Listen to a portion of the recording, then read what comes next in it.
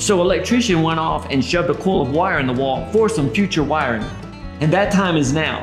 Normally that means that I would be Swiss cheesing up all the walls looking for them. But today I have the Walabot. Let's see if this little guy is up to the challenge. Step one, calibration. Just press it flat against the wall and follow the props. This is image mode. You get a basic visual of what's behind the wall. Pretty slick, but if you want more detail, you can switch into expert mode. Think of it like leveling up in a video game. This is an advanced scanner inside the scanner.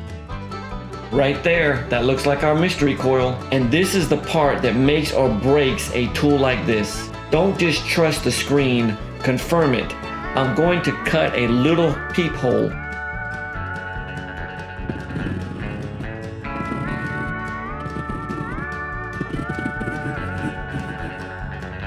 And there it is. Walabot nailed it. No wild guessing, no patching half the wall, we found the treasure without making a mess. I gotta say, Walabot, you passed the test.